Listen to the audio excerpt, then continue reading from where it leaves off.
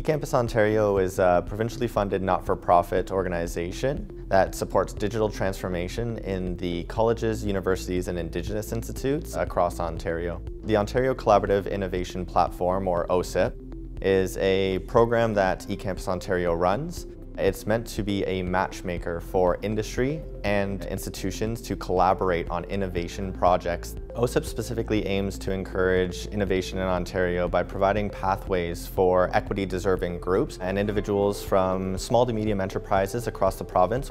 The main mission of eCampus Ontario is really to support digitization and innovation and collaboration through strategic partnerships between industry and academia.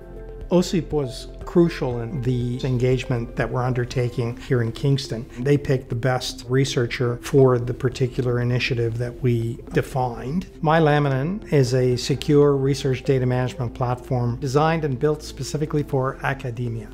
MyLaminin is used to track the data sets that feed and train AI models. OCIP identified the most logical researcher in the higher education sector to work with us on this. We didn't have to seek out a researcher, they connected us, and that made the process much simpler for us.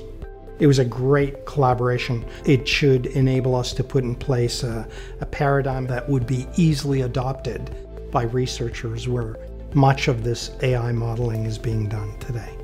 I think one of the most rewarding parts about my job is seeing businesses be able to pursue these concepts, make it a reality. To be able to see the success is extremely rewarding.